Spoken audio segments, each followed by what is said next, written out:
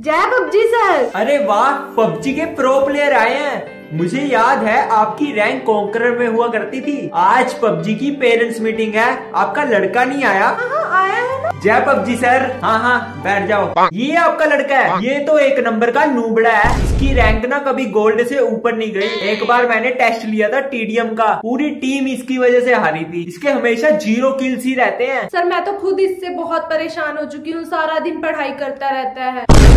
और मैं तो बल्कि बोलती हूँ सारा दिन पबजी खेले लेकिन मुझे ही डांट देता है।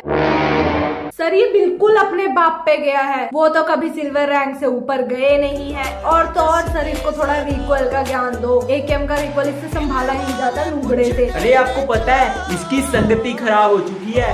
पढ़ने वाले बच्चों के साथ उठता बैठता है ये और टाइम पास फ्री फायर वालों के साथ करता है। तू घर चल तेरे को तो मैं बताती हूँ।